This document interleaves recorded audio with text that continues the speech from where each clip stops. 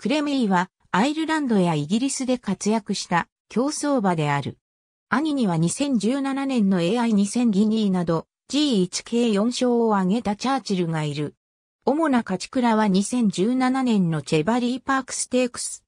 2017年5月、カラ競馬場で行われたメイドン戦でライアン・ムーア騎手を背にデビューし3着でフィニッシュ。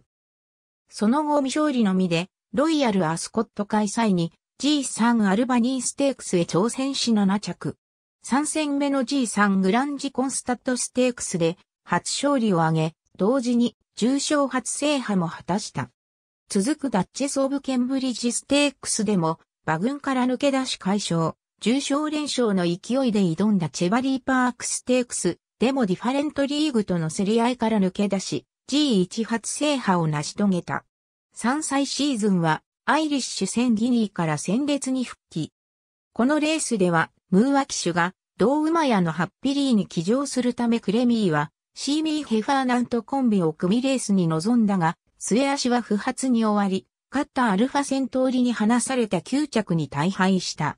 その後は、コロネーションステークス、ファルマスステークス、メートロンステークスと G1 を連戦。5、3、3着と前線こそするものの勝ち上がれず、10月のサンチャリオットステークスでは9頭中8着と、再び大敗。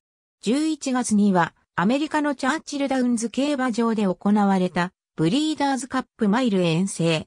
アンドレアーゼニを安城に迎え、後方からレースを進め最後は追い込んだものの6着に敗れた。その後、現役を引退し、繁殖牝馬となった。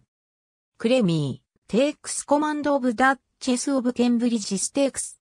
bloodhorse.com https www.bloodhorse.com horse、racing、articles、222,570 Clemmie Takes Command of Duchess of Cambridge Stakes 2019年4月4日。閲覧。Clemmie Claims Cheveley Park Glory for Aidan O'Brien www.itv.com 2019年4月4日閲覧。ありがとうございます。